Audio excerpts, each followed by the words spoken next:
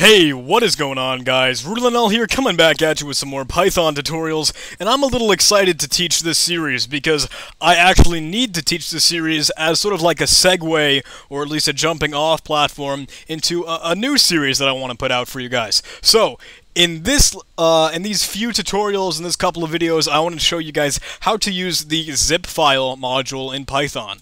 So, I'm going to go ahead and save uh, a new file, in my Python folder. I'm just going to call this uh, zip file.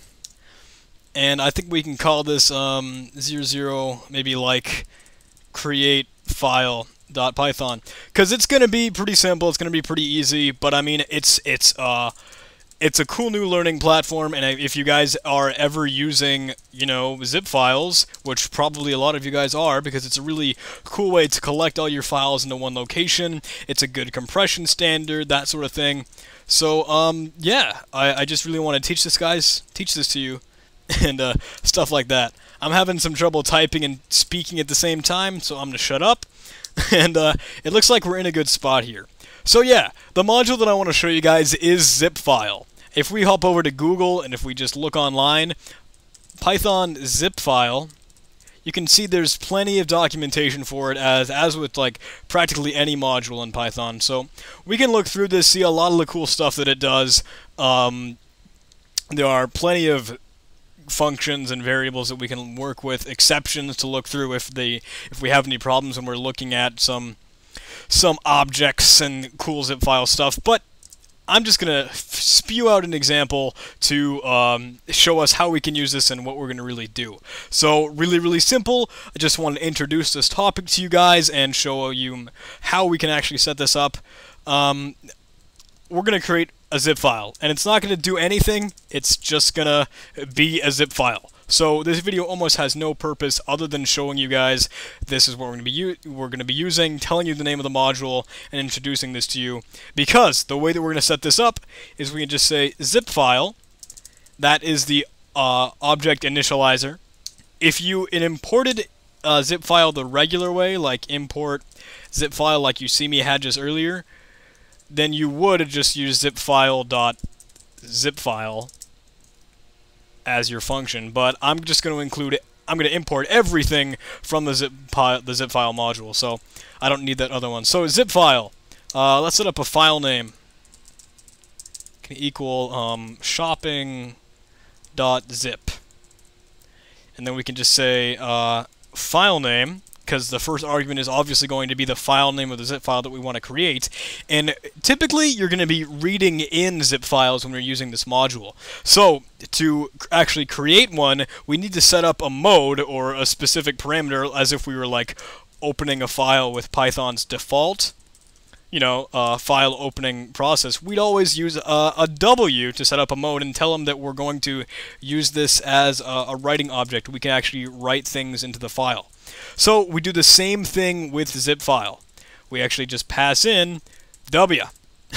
and that way we know, okay, we're actually going to create this file or at least overwrite anything that was already there with um, shopping zip. And uh, we should be good to go. If I run this, you can see there are no problems. If I bring over a terminal here, I can ls and blah blah blah blah blah. What do I have here? Let's see if I can find it.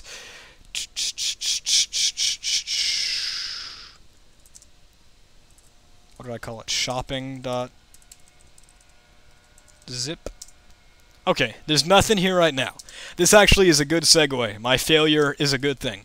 So, when we create something, we actually need to be able to close it. And this is really, really important with zip file.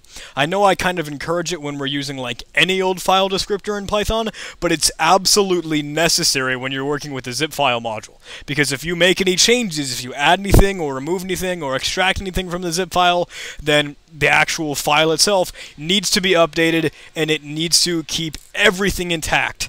So, let's just say that the zip archive is going to be this object that it returns and what we're going to end up doing is closing that zip archive when we're done our program, which would be this case right now. So this finishes running.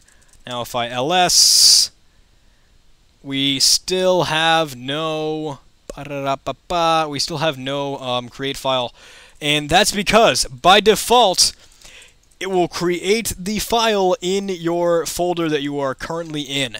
Now, because we're in a Python zip file, you can see right down here, it's in my home directory. I'm going to cd over there, cd into blah blah blah, zip file.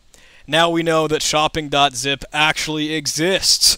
Okay, that's uh, that's a little embarrassing. It took me two times to figure that out. But it's a good thing that that did happen though, because I got across the close function, and you know that it will create it in the current directory that you're that you're in. So shopping.zip file actually exists. If I open this up in a uh, file manager, you can see it's right there.